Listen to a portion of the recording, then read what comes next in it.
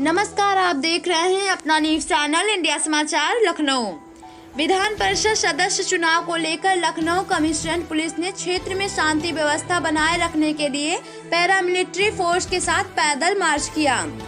MLC चुनाव शांतिपूर्वक ढंग से संपन्न कराने एवं शांति व्यवस्था बनाए रखने के लिए गोसाईगंज कस्बे व अमेठी कस्बे में पैदल मार्च किया। सहायक पुलिस आयुक्त महिला क्राइम स्वाति चौधरी एवं थाना अध्यक्ष गोसाईगंज शैलेश गिरी ने आगामी एमएलसी चुनाव को शांतिपूर्वक संपन्न कराने क्षेत्रवासियों से सहयोग कराने की अपील की।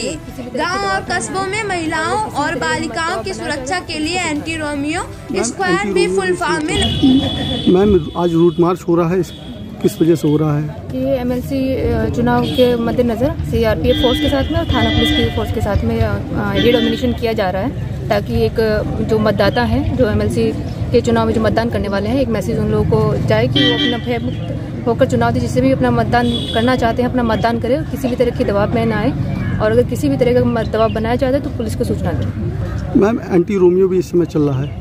हाँ एंटी रोमियो अभी महिलाओं की सुरक्षा के मद्देनज़र एंटी रोमियो स्क्वाड टीम का गठन किया गया है, जो निरंतर भीड़ भाड़ वाले स्थानों पे और बाज़ारों में और स्कूल की छुट्टी स्कूल के शुरू होने के समय पर स्कूल की छुट्टी होने के समय पर निरंतर भ्रमणशील है। और जो लड़कियाँ हैं, उनसे उनकी समस्या भी पूछी जा रही है। उन लोगों को जागरूक भी किया जा रहा है कि अगर किसी तरह की समस्या होने हो तो वो पुलिस को उसके बारे में बताएँ, हिचकिचाएँ नहीं। इसके अलावा उन्हें दस नब्बे जो महिला पुलिस हेल्पलाइन है और 112 के बारे में भी जागरूक किया जा रहा है कि अगर वो अगर अपनी समस्या बताती है तो उनकी पहचान को गोपनीय रखते हुए उनकी समस्या का समाधान किया जाएगा।